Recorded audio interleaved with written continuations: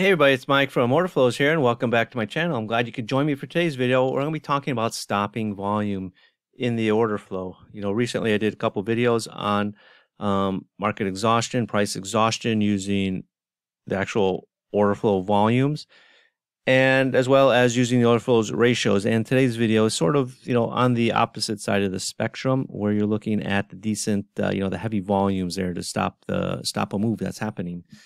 Now, before I jump in, remember if you enjoy my videos and find you're learning something, getting something out of them, be sure to uh, subscribe to the channel. Click that notification bell so you don't miss any new uploads.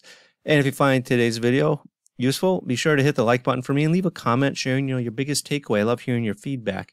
Um, you know, if, there's something you want to see me talk about in an upcoming video, be sure to uh, leave a comment there. So your support really does go a long way um, in helping me come up with uh, ideas and uh, your questions uh, are much appreciated. So let's uh, jump into today's topic. All right, let's get into it. So again, you know, recently I did a couple videos on price exhaustion. All right, so and I, I just talked about the order flow ratios. Now, there's two types of ratios. There's a ratio bounds high, ratio bounds low.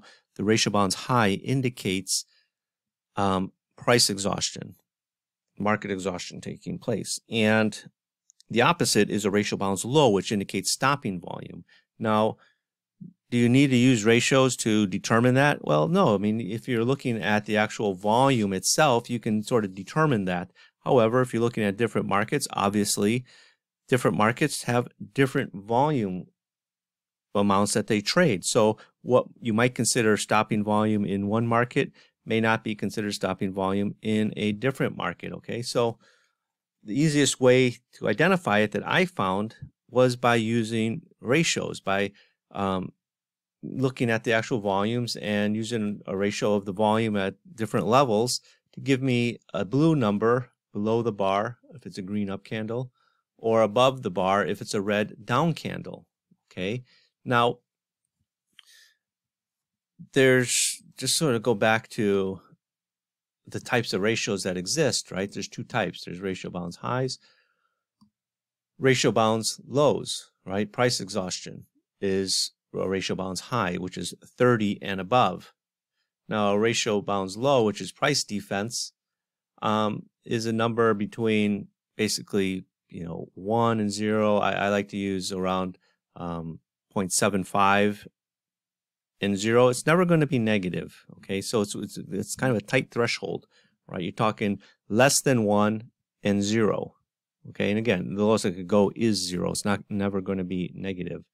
And you know, it's funny because I, I have the default set on my order flows trader as 0.69. You can see I got it set at uh, 0.71, but really you know you could get away with uh, 0.75 that's that's a threshold that i like. You know the reason i have it at 0.69 is because i realized as people started copying my um, concepts right my order flows ratios was one of the ways that i was trading for a long time. I, I still look at it obviously because it's built into my softwares. They were literally copying the 0.69 now remember these ratios these thresholds are not set in stone. You could use whatever you want. Again, like I said, I know some people use one.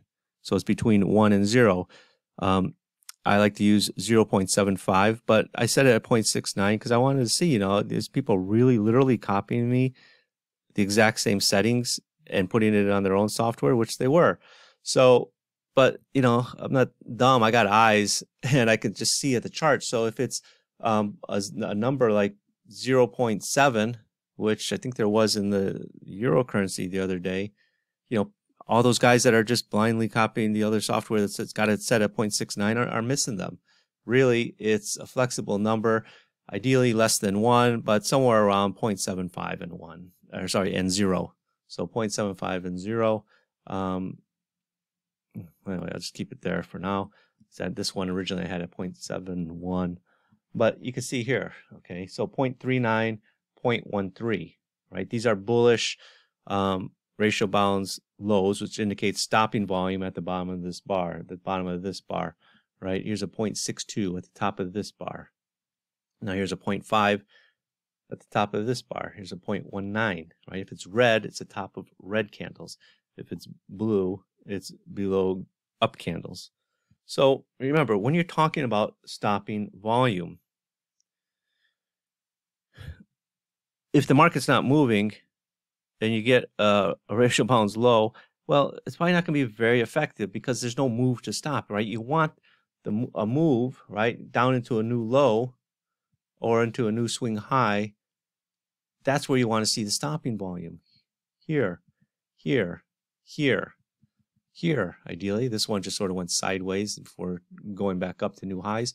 But the whole concept of stopping volume, price defense, is level being defended, a move that has to be stopped no matter what, right? I'll say no matter what, but you get the idea, right? So let me just uh, uh, show you a better example here. I think there was one in the euro currency the other day, six uh, here, six E sort of go back, uh, I forgot what day it was. I think it was maybe Thursday. Um, yeah, like right here. Okay, here's your pullback, right? So you know, here's an area where we're going sideways. Okay, and you get bullish ratio bounds low, bullish ratio bounds low, but there's no move to to stop. The market's just going sideways. That this one is a move that you're looking to stop right? So if, if it's in a sideways market, right, that's not where you want to use it. I mean, what's, you know, by definition, it's stopping volume, but there's no move here. It's going sideways. That's why I say look for it on a pullback, look for it on a swing high or a swing low. You know, bonds, okay? Market went up, tested the high, pulled back. Here's a nice ratio bounds low indicating stopping volume. 1261. You can see the heavy volume down here. Then it went up here to these new highs. You know, you can see the volume up here, 1175. Uh, and the market started to sell off. Then it ran into, you know, price exhaustion here with the bullish ratio. And okay, it did go back up. But this is what I'm talking about here, right? You, you see a 0.06.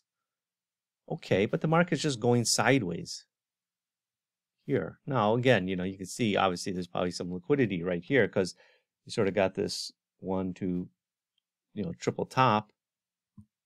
But more or less, you know, the, the swing high is just right here. It's, it's, just going sideways. You do get a small move down. Okay, you get a bullish ratio here, right, 0.35. But again, it's going sideways. At least here, it came up to a new high. Well, it's an equal high from earlier, but you, you know, double top, pulls back, then you get that bullish ratio. If this 0.35 was in this bar here, yeah, I would like it, you know, a lot more. Okay, but it, that's not where it's coming in. It's coming in, you know, in back in the middle of your sideways activity. Okay, so let's take a look at uh, another market, right? We'll look at a commodity market because, you know, commodities and stock indices, in my opinion, trade a bit different in the sense of, you know, there's different market participants, right? Stock indice is cash settled. A commodity like, you know, any of the grains is physically settled, right? People that, so you have a different component of traders, right? Different trader set because majority of the people that are trading soybeans, wheats um, corn, meal, they, they have to, you know, I mean, that's literally their job. They're not. There is a speculative component, but the speculative component in commodities is a lot less than in the stock indices, in, in my opinion. Um, so let's just uh, take a look at uh, soybeans. Okay, just really quick here. So again, this is uh, you know Friday.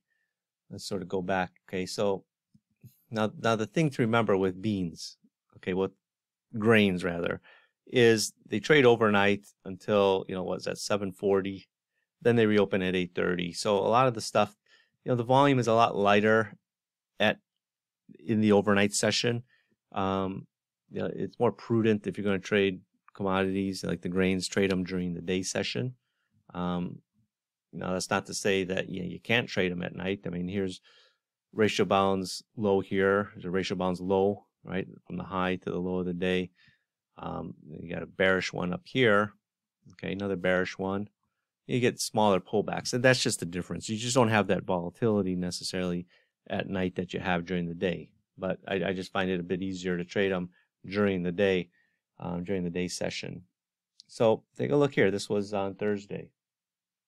Low of the day, stopping volume. Rallies up to where? Price exhaustion up here. And then it sells off to new lows. You know, this, I would have liked this one better had it touched the low. But again, it, it's, you know, hit a low, rallied up. I'd hate, to, I don't like to call this a pullback because it's just, you know, it's a range bar. Um, you know, but, uh, again, that's sort of the, the, thing that you could take into account if you want to trade it. Now, this was interesting here. This was also on Thursday a little bit earlier, right? Low of the day, stopping volume, started to go up, pulled back one tick lower, and then popped up, right? Now, on this one, right?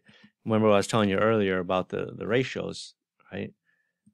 0.69, where is it here, right? So the default is set at 0.69, which again, these are not lines drawn in the sand, right? So really what I'm looking for is a number, you know, 0.69 or below, but 7.75 is really about what I'm looking for, right? So if I see 0.7, I would still take it. If I had it set at 0.75, you know, it would still be valid, right? It'd still be that blue ratio. Again, it, it's just one of those things I, I I threw in there just to see how people were copying it. But by looking at it, I can see 0.7 is obviously right next to, you know, it's 1% difference between 0.69 and 0.7. But again, you, know, you got the 0.5 here, but then you can just see the volumes here, right? The 108 appearing there at the low. Now, what is unique about these ratios, right, and the stopping volume is a lot of times you you would think that that's where the point of control is going to come in but often it doesn't because really what you're taking a look at is how the volume is trading, you know, towards the bottom of the bar. Okay. Point of control doesn't necessarily have to be down there, right? And sometimes it is, sometimes it isn't, right? When it is, it makes it, you know, very visual, very easy to see for a lot of people, but don't think it has to appear down there. So I'm going to wrap up that video on stopping volume. So I hope you can see it a little bit better. Again, that's one of the benefits of using software that can analyze it for you and highlight it for you. Right? Because at the end of the day, you know, you should be able to do calculate it just by looking at it and seeing, oh, you know, I got 153 down here. That's pretty decent volume for this bar. I got 108 down here. That's pretty decent volume stopping this move. So I, I know there's some passive buyers coming in down here. Uh, what should you expect if you see passive buyers coming in at the low of the day. Well, expect a rally. That's what you should look for, right? And again, it's not about trying to predict the low. It's just reacting to what you're seeing in the order flow come in, right? I mean, the volume, the numbers are there. It's up to you to react to it. So again, if you enjoy my videos, be sure to subscribe to the channel and leave a comment in the comments below on what you'd like to see me talk about next. So I'll catch you guys all on the next video. Bye bye.